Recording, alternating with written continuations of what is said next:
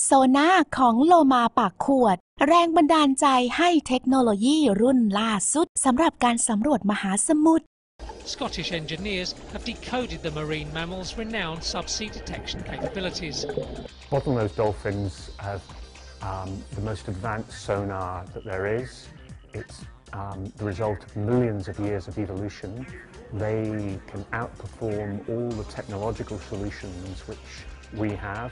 The US Navy has used them for a number of years for finding mines.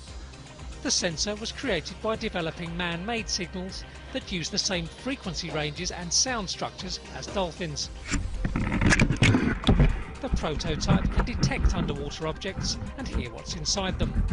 So we've got two transducers on each side of our vehicle, a transmitter and a receiver, and the electronics sends the signal down to the transducer. It has to be a very high voltage signal. So we, with the computer, have a typical computer level signal. It gets amplified up to several hundred volts to drive the transducer and put this, this dolphin-like signal into the water.